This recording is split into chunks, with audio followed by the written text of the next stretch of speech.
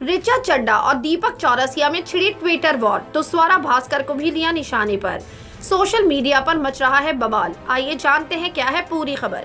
इस वक्त देश में ताजमहल ज्ञान भापी मस्जिद का मुद्दा गरमाया हुआ है, जिस पर कई नेता और धार्मिक संगठनों के लोग बयानबाजी भी करते नज़र आ रहे हैं। वहीं कुछ सरकार समर्थक पत्रकार भी इस पर मुगलों और मुसलमानों पर निशाना साधते नज़र आ रहे हैं। अब ऐसे में न्यूज़ नेशन के पत्रकार दीपक चौरसिया ने ट्वीट करते हुए लिखा। मुगलिया इमारतों की परतें उतारिए। हबीब थापत गुहा जैसे वामपंथी पक्षपाती इतिहासकार अपनी सोच को लेकर नंगे होते नज़र आएँगे। सच को झूठ का जामा पहनाने वाले देश को बर्बाद करने में इनका योगदान को कभी नहीं भुलाया जा सकता।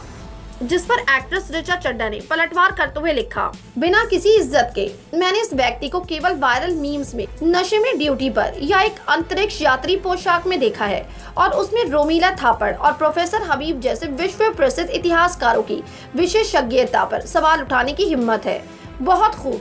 मुझे इसका कॉन्फिडेंस चाहिए। तो वहीं दीपक चौरसिया ने रिचा चड्डा के इस ट्वीट पर जवाब देते हुए, स्वरा भास्कर पर भी निशाना साधते हुए लिखा मीम्स तो मेरे से ज़्यादा आपके और आपकी दोस्त स्वरा के भी बनते हैं। फिर भी आप लोग देश पर ऊट पटांग टिप्पणियाँ करते हैं। रही बात आपके प्रिय इतिहासकारों की तो उन्होंने सूरज को दिया दिखाया है। एक ना एक दिन दूध का दूध पानी का पानी होकर रहेगा।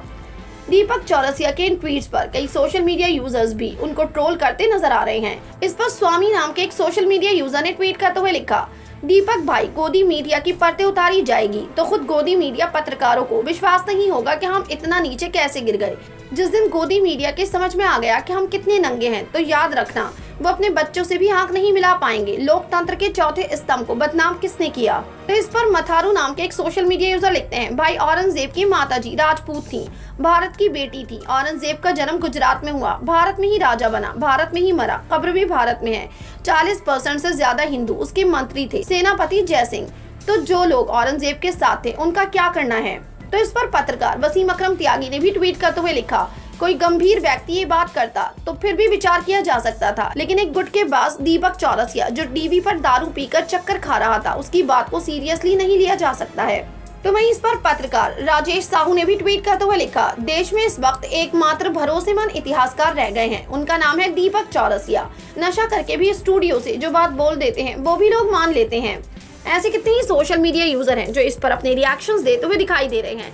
आपकी क्या राय है इस खबर के बारे में अपनी राय कमेंट सेक्शन में ज़रूर दें। हमारे चैनल को सब्सक्राइब करें बेल आइकन प्रेस करें ताकि हर खबर आप तक जल्द से जल्द पहुँचे।